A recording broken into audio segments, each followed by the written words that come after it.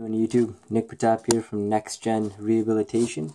And today I wanted to have a quick chat with everyone about exercise prescription in relation to individuals who are on uh, beta blockers.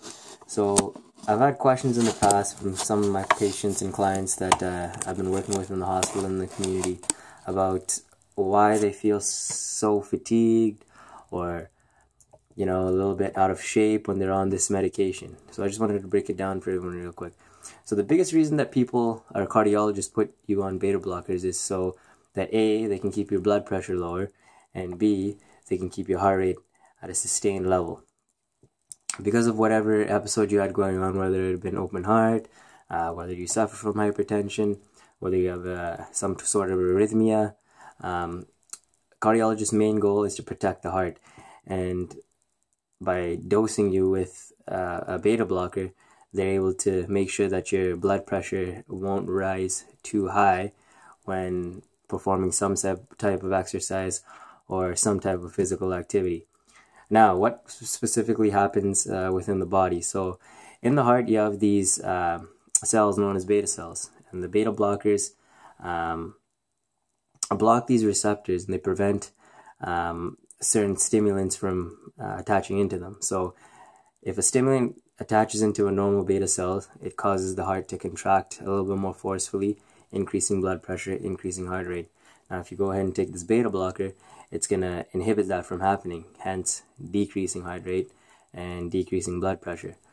Now, when performing certain exercises, um, a lot of patients will be like, well, you know what, it feels like I'm working so hard, but I can't get my blood pressure or I can't get my heart rate above 100.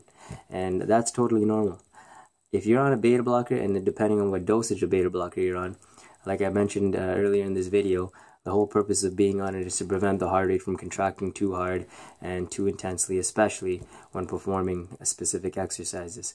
So I don't want anyone to be alarmed, or you shouldn't be alarmed um, if you're not finding that your heart rate is getting to a higher point.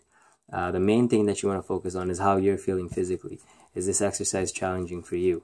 And now we're actually going to talk about that in the next video on how hard um, individuals who have had a heart issue should be exercising, exercise prescription and exercise intensity. One thing people should be aware of though when they are on beta blockers is getting up uh, too fast. So your doctor might have mentioned to you, but um, if you're getting out of a bed, make sure you roll over onto your side and then get up slowly.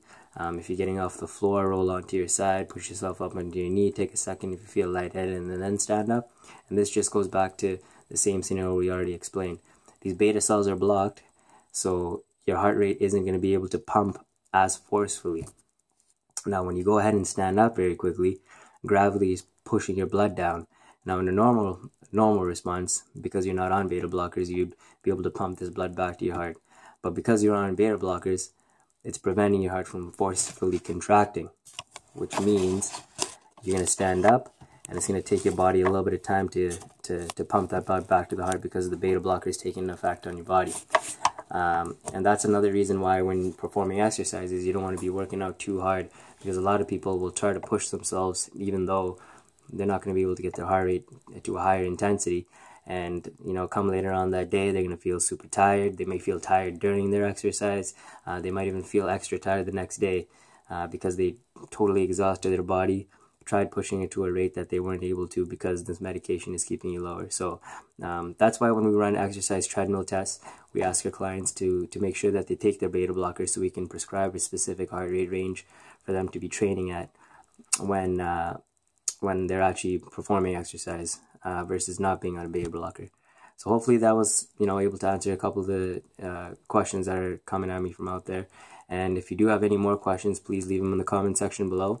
And like I said, the next video I will be making is going to be on exercise prescription for heart patients, um, specifically how hard you should be working out, um, either on your own or when you you uh, you're working out with either kinesiologist or exercise physiologist. All right, enjoy the rest of your day. Until next time, this is Nick Pratap from Next Gen Rehabilitation.